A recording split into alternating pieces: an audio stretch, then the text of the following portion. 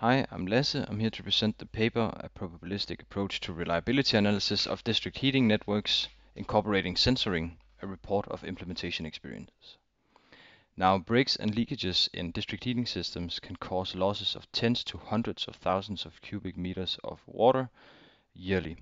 Aside from water being uh, expensive to replace, breaks in district heating pipes can decrease the supply to a level where consumers do not have access to the heat they require these breaks themselves are expensive, uh, but preemptive replacement of pipes uh, is costly both in terms of uh, money but also resources. So there is a need to determine the optimal time to replace pipes. And that's a question that you can answer using survival or reliability analysis. Now in this paper, we have taken a survival, a survival model from the medical domain, which has seen some uses in the engineering domain. Um, but this specific approach has never been used on district heating pipes before. Uh, the approach is called the Weibull proportional hazard model. Um, it, it's called proportional hazards because um, survival probability depends not only on time but also a set of covariates that can be employed to explain relevant asset information such as material or maybe explaining what uh, environment a pipe lays in. And then the second thing uh, is that the model is adjusted for censoring. Now, censoring is a trick used in survival uh, modeling. Um, and yeah, so in survival data, survival time or time to failure is uh, typically unknown for a majority of observations. And what censoring uh, is, is a method to represent that unknownness of the actual survival times. Uh, for instance, in uh, if you uh, you will typically in your survival data have a lot of uh, individuals that have not died yet. So you don't know the actual survival time of these informations, but you know um, um, sort of a minimum for each uh, individual, and that you would refer to as right censoring. Um, yeah, we uh, test this uh, or we apply this uh, Weibull proportional hazards model adjusted for censoring on a district heating system on Funen, uh, which supplies more than 100,000 uh, consumers and consists of approximately 140,000 pipes. Uh, the data set includes pipe specifications, soil conditions, engineered features, and of course the survival time of observations and uh, whether uh, they are censored and what type of censoring has been applied to them. Um, now, initial parameter estimates are, um, are achieved using a maximum likelihood estimation approach, um, and afterwards we have uh, sampled from the posterior density of the parameter distribution, of course given the data, uh, using an algorithm called Metropolis Hastings uh, random walk, and that allows us to characterize a confidence interval um, around the prediction produced by the model. Um, and these are example predictions we see on the left an at-risk uh, pipe and uh, to the right at least uh, or a, a not uh, very at-risk uh, pipe. When we apply the um, the model um, to to um, predict really um, the survival probabilities population wide, then this is what we see here uh, shown as a series of uh, violin plots um, over time.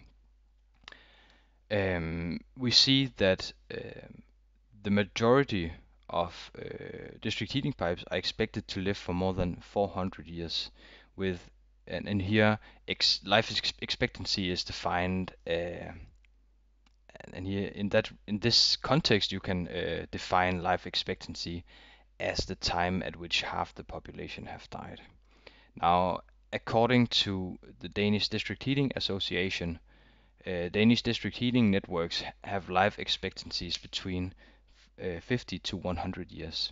This means that there is a large discrepancy uh, between the Weibull proportional hazards model uh, estimation of, of or estimated life um, and uh, some uh, national uh, experts.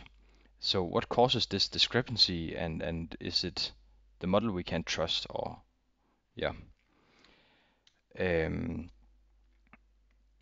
well, we investigated reasons that that the um, survival probability is overestimated, and and we found two uh, candidate explanations.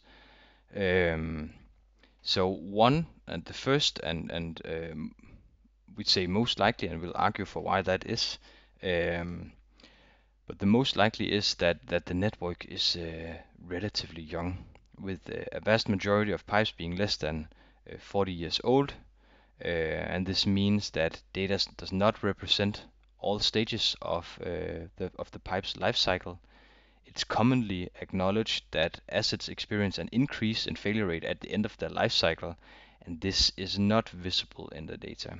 So if it's not represented in the data, it's not something the model can learn. It will not know that at some point uh, the failure rate increases, which of course means that uh, deaths are underestimated and survival probability is overestimated. Uh, now this is one reason. The other reason is that this uh, maintenance record behind in, in this uh, case study only covers a period of, of five years. Um, this means that there are some uh, pipe, some failures of pipes um, preceding this uh, time period, which are virtually unknown, uh, and this um, uh, unknownness is not, you know, we can't represent this, uh, or this is not represented in the data. Um, and this, of course, means that with, with fewer uh, breaks in the data, uh, that also um, leads to an overestimation of survival probability. Um, we try to uh, to resolve this imputation about missing observations uh, with a very crude uh, imputation technique uh, to artificially construct some missing observations and reduce the bias. And um, the result of that, uh, you can see on this uh, slide, that after we, when we do this imputation and re uh, find the parameters of the of the model again, uh, we see that uh, survival probability has reduced a bit, but not much.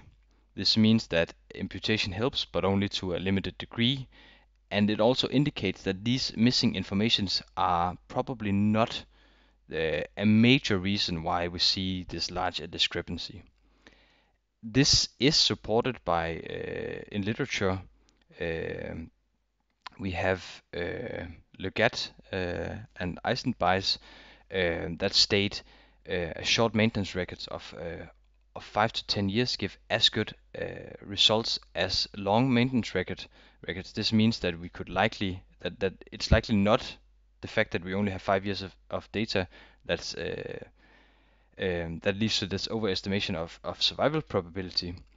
Um, uh, and uh, and I should state that this literature that I'm I'm comparing against is uh, literature from uh, water distribution systems. Uh, another uh, thing is that the general characteristics of successful and validated applications of survival models in the water distribution domain is that the survival data covers or in that survival data, at least parts of the piping networks are uh, old relative to their expected age. For instance, in the paper Water Network Assessment and Reliability Analysis by use of survival analysis, um, uh,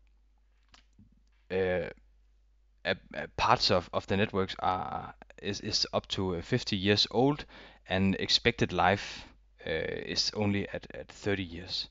So this means that, that, that in these successful and validated applications, we see that all stages of the pipe's life cycle is represented in data. Um, so this is something to keep in mind when using these uh, survival models that um, that that you actually need to have a good uh, foundation in in data. And um, that's all for me, so thanks for listening.